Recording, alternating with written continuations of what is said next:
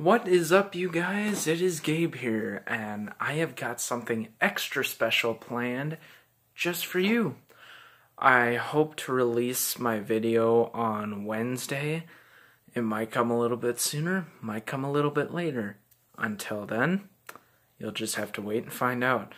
Now, signing off.